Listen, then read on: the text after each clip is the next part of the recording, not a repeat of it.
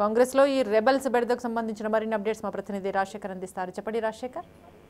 వీళ్ళతో కాంగ్రెస్ పార్టీకి రోజు రోజు రెబల్స్ బెడద ఎక్కువ అవుతుంది ఇప్పటి వరకు దాదాపు మొదటి జాబితాలో అరవై ఐదు మందిని రెండో జాబితాలో పది మందిని ప్రకటించారు. మరొక పంతొమ్మిది మందికి సంబంధించిన కేటాయింపులు జరపవలసింది అయినప్పటికీ గత మూడు నాలుగు రోజులుగా పెద్ద ఎత్తున రెబల్స్ కాంగ్రెస్ పార్టీని ఆ టికెట్లు ఆశించిన ఆశావాదులంతా కూడా పార్టీకి రాజీనామా చేయడం లేకపోతే పార్టీకి తిరుగుబాటు చేస్తూ నామినేషన్లు కూడా దాఖలు చేస్తున్న పరిస్థితి ఉంది. చాలా చోట్ల ఎక్కడిదక్కడ కాంగ్రెస్ పార్టీ నాయకుల అధిష్టానాన్ని వ్యవహార శైలిని తప్పుపడుతూ అనేక మంది ఆందోళన వ్యక్తం చేస్తా ఉన్నారు. స్థానిక పార్టీ ఆఫీసులను ధ్వంసం చేస్తున్న పరిస్థితి కూడా కనపడతా ఉంది.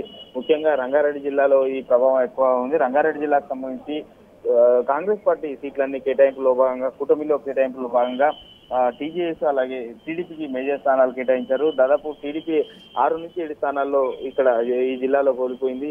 టీడీపీకి కేటాయించడంతో అక్కడ టికెట్ ఆశించిన అనేక మంది ఆశావాదులు కూడా ఆందోళన వ్యక్తం చేస్తా ఉన్నారు. మరోవైపు ఇవాళ రంగారెడ్డి జిల్లా డీసీసీ అధ్యక్షుడు ఉన్న క్యామ మల్లేష్ ఈ సీట్లకు సంబంధించిన కొనుగోలు సంబంధించి అమ్మకాలకు సంబంధించిన ఆడియో టేప్ బయటపెట్టడం కూడా సంచలనం సృష్టిస్తుంది. కాంగ్రెస్ పార్టీ మొదటి నుంచి కూడా స్క్రీనింగ్ కమిటీ పేరుతో సర్వే పేరుతో అభ్యర్థులకు సంబంధించి టికెట్లు అమ్ముకున్నారని చెప్పేసి వాళ్ళ కెమెరాలు ఆరోపించడంతో పాటు ఆడియో ప్రూఫ్ కూడా బయటపెట్టడంతో కాంగ్రెస్ పార్టీలో తీవ్రమైన గందరగోళ పరిస్థితి అయితే నెలకొంది. ముఖ్యంగా కాంగ్రెస్ పార్టీ రాజేంద్ర నగర్ కావచ్చు ఇబ్రాహీంపట్నం షేర్లింగంపల్లి మల్కజ్గిరి ఉప్పల్ ఇట్లా అనేక చోట్ల కూడా అనేక మంది అభ్యర్థులు ఆందోళన వ్యక్తం చేస్తా ఉన్నారు. అటు జిల్లాల్లో కూడా చాలా చోట్ల కూడా కాంగ్రెస్ పార్టీకి రెబల్గా పోటీ చేస్తున్న పరిస్థితి కనపడతా ఉంది. కా- ముఖ్యంగా తాండూరులో కావచ్చు వికారాబాద్ అలాగే మీకు ఆదిలాబాద్ జుక్కల్ వరంగల్ వెస్ట్తో పాటు ఖమ్మం జిల్లాలో కూడా చాలా మంది అభ్యర్థులు కాంగ్రెస్ పార్టీకి రెబల్గా పోటీ చేస్తా ఉన్నారు. కాంగ్రెస్ పార్టీ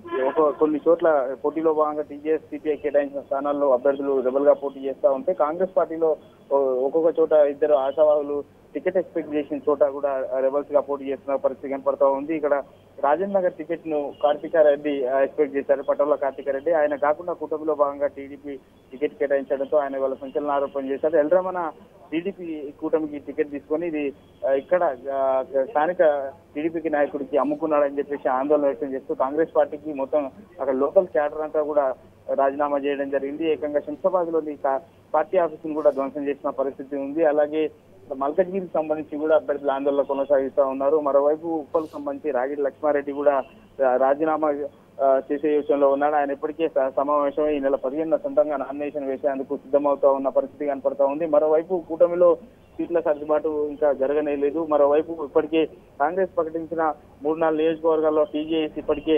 అభ్యర్థులను ప్రకటించే విషయంలో ఉంది. ఇప్పటికే ఆ సీట్లు తాము పోటీ చేస్తామంటూ నిన్న ప్రకటించడంతో అటు కూటమిలోని అభ్యర్థులు కూడా ఆందోళన వ్యక్తం చేస్తా ఉన్న పరిస్థితి కనపడుతోంది. ముఖ్యంగా రెండు సీట్ల విషయంలో గన్పూర్ ఆసిఫాబాద్ మహబూబ్ నగర్ సంబంధించి కూటమిలో భాగంగా కేటాయింపులు జరిగినప్పటికీ ఆ సీట్లలో టీజేఎస్ కూడా పోటీ చేసేందుకు సిద్ధమవుతుంది మరోవైపు సిపిఐ మరొక మూడు స్థానాల్లో పోటీ చేసేందుకు సిద్ధమవుతున్న నేపథ్యంలో మొత్తం ఒకవైపు కూటమిలో తలనొప్పులు మరోవైపు సొంత పార్టీలో అసమ్మతి వ్యవహారంతో కాంగ్రెస్ అధిష్టానం తలలు పట్టుకుంటున్న పరిస్థితి కనపడుతోంది.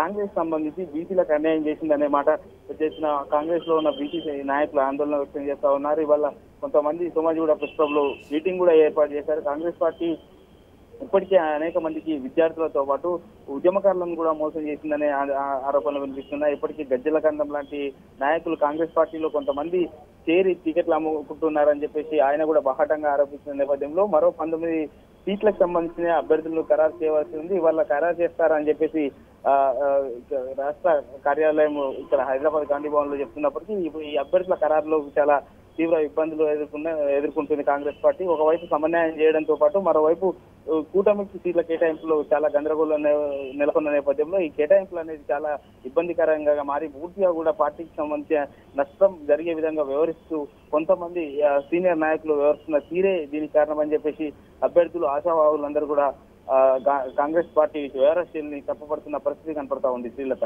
Right Rajasekhar thank you